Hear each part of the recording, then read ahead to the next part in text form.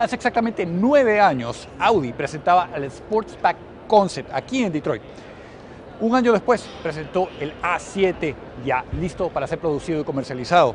Y ahora, en el 2018, presenta la segunda generación del A7 motor, por ahora han anunciado que solo están ofreciendo el 6 cilindros turbo cargado, reemplaza al supercargador y la razón por la que han hecho eso es porque es más eficiente, la tecnología de turbocargadores ha mejorado mucho, porque es un motor que van a poder utilizar en otras plataformas como el A6, el A5, etcétera, etcétera.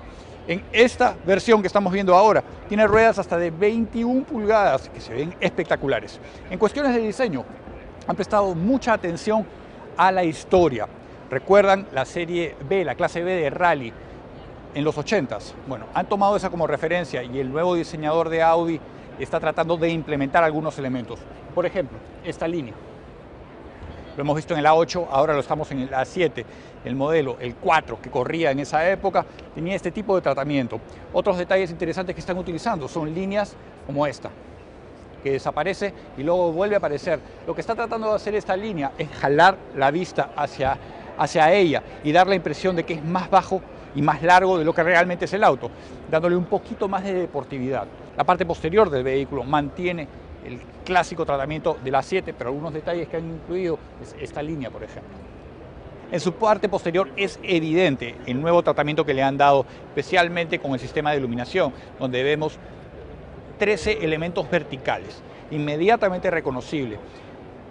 En la parte frontal, delantera, también estamos viendo elementos de iluminación que ahora son un poco más agresivos, un poco más largos, un poco más bajos y como dicen los diseñadores, un poco más enfocado, la vista más enfocada.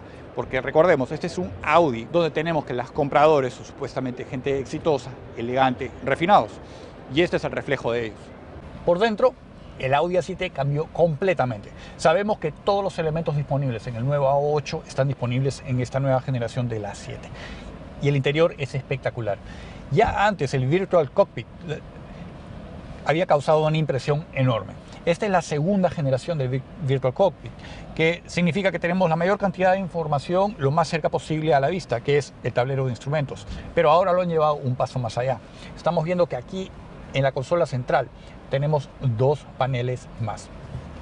Y estos están conectados uno con los otros. La forma en que la navegas es básicamente como un teléfono móvil, porque ahora es lo que todo el mundo está haciendo, porque es todo, todos los fabricantes lo están haciendo, porque todos los usuarios están acostumbrados a este tipo de navegación. Podemos hasta mover las diferentes aplicaciones, llamémoslo así, y reconfigurarlo como uno lo quiera. Es más, existen hasta seis perfiles que uno puede programar en este auto las diferentes personas que lo van a utilizar. Y eso reconfigura no solo los asientos, la posición de los asientos o las preferencias en el sistema de navegación, pero también incluye cómo el auto se va a manejar. Porque la conducción para Audi es prioridad por la cantidad de historias que tiene la marca. Esta no es la excepción, el A7. Han incluido también el sistema de dirección que permite que las ruedas posteriores también giren para darle mayor eficiencia al tomar las curvas. Hasta 5 grados es que pueden doblar.